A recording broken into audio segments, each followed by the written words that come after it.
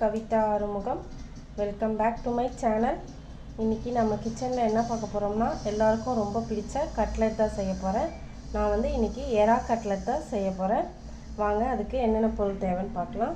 நான் வந்து எறா எடுத்து வச்சுருக்கேன். எறா வந்து வேக வச்சுருக்கேன். லைட்டாக ஒரு ஃபைவ் மினிட்ஸ் வந்து மஞ்சத்தூள் உப்பு போட்டு லைட்டாக வேக வச்சு எடுத்துருக்கேன் இஞ்சி பூண்டு பேஸ்ட் எடுத்துருக்கேன். இஞ்சி பூண்டு ஒரு பச்சை மிளகா கொஞ்சோண்டு சோம்பு போட்டு அரைச்சிக்கோங்க.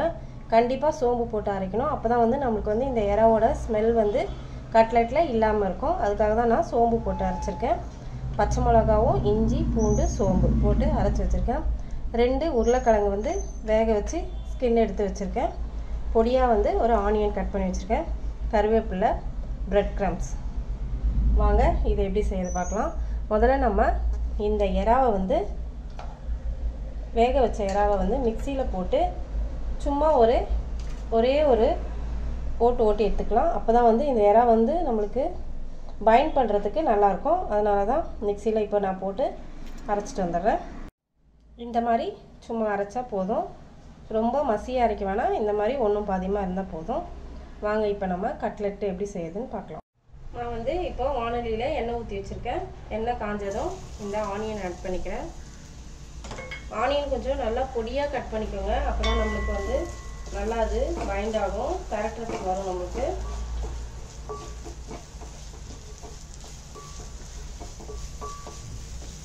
ஆனியன் நல்லா கொஞ்ச நேரம் வதங்கட்டும்.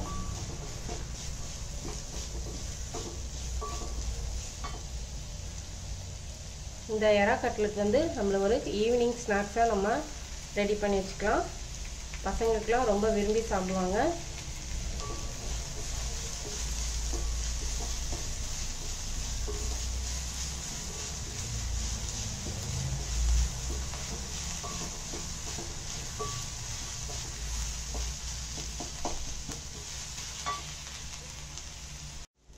ஆனியன் கொஞ்சம் வதங்கிடுச்சு. இஞ்சி பூண்டு பேஸ்ட் ஆட் பண்ணிக்கிறேன். இதில் நான் என்னென்ன போட்டிருக்கேன்னா இஞ்சி பூண்டு பச்சை மிளகா ஒன்று கொஞ்சம் சோம்பு போட்டிருக்கேன். இதை நல்லா ஃப்ரை பண்ணிக்கலாம்.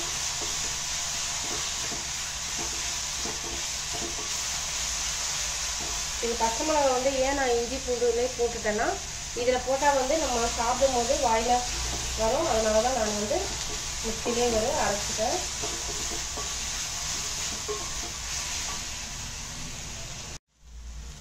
இஞ்சி பூண்டும் நல்லா வதங்கிச்சு இப்போ வந்து நல்லா கருவேப்பிலையை கொஞ்சம் நல்லா பிச்சு போட்டுக்கலாம்.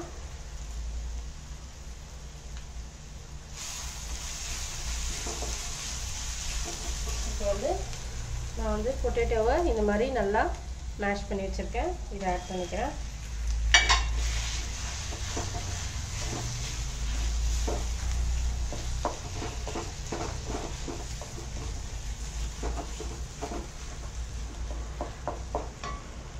பொட்டேட்டோ ஆட் பண்ணதும் கொஞ்சோண்டு காஷ்மீரி சில்லி பவுடர்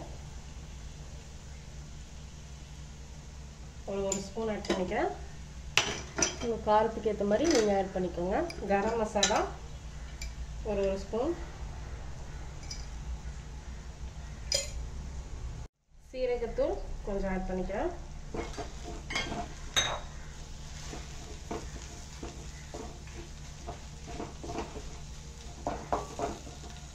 சீரகத்தூள் ஆட் பண்ணதும் கொஞ்சம் மஞ்சள் தூளும் ஆட் பண்ணிக்கோங்க.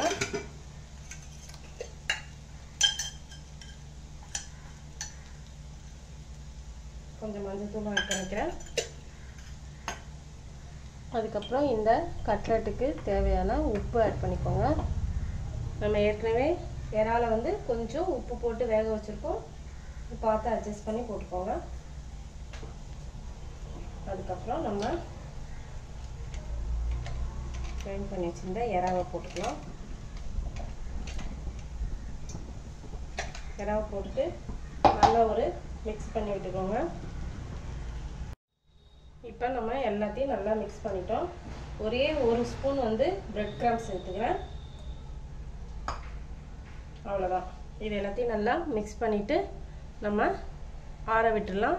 அதுக்கப்புறம் நம்ம கட்லெட் செய்யலாம். இப்போ வந்து நல்லா ஆறிடுச்சு. எல்லாமே நல்லா வந்து நம்மளுக்கு ஒன்றோட ஒன்று நல்லா பைண்ட் ஆகிடுச்சு இந்த மாதிரி இப்படி ஒரு பால் மாதிரி இருக்கணும். அப்போ தான் நம்மளுக்கு வந்து கட்லெட் த வரும். இதை இப்படி நல்லா இப்படி ரோல் பண்ணிவிட்டு ஒரே ஒரு இப்படி ப்ரெஸ் ரொம்ப தட்டையாக போடக்கூடாது. இந்த கணத்தில் இருக்கணும். அப்போ தான் வந்து நம்மளுக்கு கட்லெட் நல்லாயிருக்கும். இப்போ நம்மளுக்கு எந்த ஷேப் வேணாலும் நம்ம இந்த மாதிரி போட்டுக்கலாம். நான் வந்து ரவுண்ட் ஷேப் போட்டிருக்கேன். இந்த மாதிரி நம்ம எல்லாத்தையும் ரெடி பண்ணி வச்சுக்கலாம். அதே மாதிரி நான் இந்த பக்கம் வந்து பிரெட் க்ரம்ஸும் இங்கே வந்து மைதா மாவு கொஞ்சோண்டு உப்பு மிளகுத்தூள் போட்டு தண்ணி போட்டு நல்லா கரைச்சி வச்சுருக்கேன். நீங்கள் வந்து மைதா மாவுக்கு பதில் முட்டையை வந்து நல்லா அடிச்சிட்டு கொஞ்சம் மிளகுத்தூள் உப்பு போட்டு நல்லா அடிச்சிட்டு அதில் டிப் பண்ணியும் போடலாம். இல்லை மைதா மாவில் டிப் பண்ணியும் போடலாம். நான் வந்து மைதா மாவில் தான் இன்றைக்கி டிப் பண்ணி போட போகிறேன் அதனால் மைதா மாவு உப்பு கொஞ்சம் தண்ணி ஊற்றி நல்லா கட்டி இல்லாமல் நல்லா மிக்ஸ் பண்ணி வச்சுருக்கேன். இப்போ இதை வந்து எல்லாத்தையும் ஷேப் பண்ணிக்கலாம்.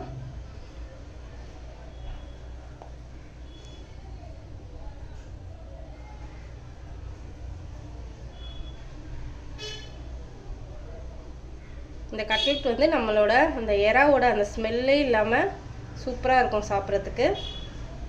பசங்களால் கண்டுபிடிக்கவே முடியாது எறா இருக்குதுன்னு இதில். ஏன்னா நம்ம வந்து எறாவையும் நம்ம வந்து மிக்சியில் போட்டு நல்லா அடிச்சிட்டு சேர்த்துருக்கோம் பொட்டேட்டோவும் சேர்த்ததுனால நல்லாயிருக்கும் இது. இந்த மாதிரி எல்லாத்தையும் இதே மாதிரி நம்ம பிடிச்சி வச்சுக்கலாம். இப்போ வந்து நம்ம கட்லெட்டை பொரிச்சிடலாம். இப்போ நம்ம செஞ்ச இந்த கட்லெட் எடுத்து இந்த பேட்டரில் போட்டு அதுக்கப்புறமா நம்ம பிரெட் கிராப்ஸில் நல்லா இப்படி புரட்டிக்கோங்க.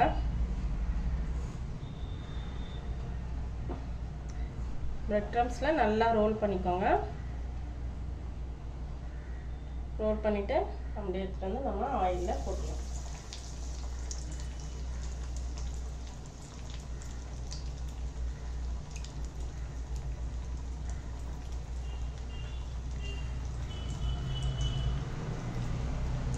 நான் வந்து இன்றைக்கி வந்து டீப் ஃப்ரை பண்ணியிருக்கேன். நீங்கள் வேணும்னா ஷாலோ ஃப்ரை கூட பண்ணிக்கலாம். ஆயில் ரொம்ப வேணான்றவங்க நீங்கள் தவாவில் லைட்டாக ஆயில் போட்டு இதை வந்து ஷாலோ ஃப்ரை பண்ணிக்கோங்க.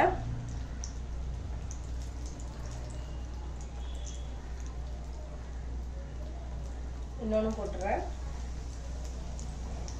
இது வந்து ரொம்ப அதிகமான நம்ம தீ வச்சு டக்குன்னு பொரிக்கக்கூடாது ரொம்ப தீஞ்சு போயிடும். ஸ்லோவாக வச்சு இதை வந்து நம்ம ஃப்ரை பண்ணி எடுக்கணும். இப்போ நம்ம வந்து ஒரு பக்கம் சேர்ந்துருச்சு இன்னொரு பக்கம் திருப்பி போட்டுக்கலாம். இந்த மாதிரி நல்லா கொஞ்சம் கோல்டன் கலர் வந்தவொடனே தான் நம்ம திருப்பணும். இல்லைன்னா வந்து நம்ம கட்லெட் வந்து உடஞ்சிரும். அப்படி உங்களுக்கு கட்லெட் வந்து பிரிஞ்சு வர மாதிரி இருந்துச்சுன்னா இந்த மாதிரி கோட் பண்ணி ஒரு ஆஃப் அன் ஹவர் வந்து ஃப்ரிட்ஜில் வச்சுருங்க. ஃப்ரீசரில் வச்சுட்டு அதுக்கப்புறமா எடுத்து போட்டிங்கன்னா பிரியவே பிரியாது. கட்லெட்டு உங்களுக்கு அப்படியே அழகாக வரும். இந்த பக்கம் நல்லா செவந்தோடனே நம்ம கட்லெட்டை எடுத்துடலாம். இப்போ நம்ம கட்லெட் ரெடி ஆயிடுச்சு. எடுத்துடுறேன். சூப்பரான கட்லெட் ரெடி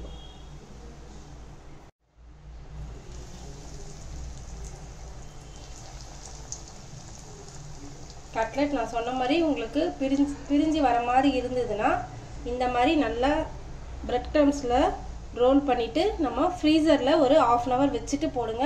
கட்லெட் பிரியவே பிரியாது.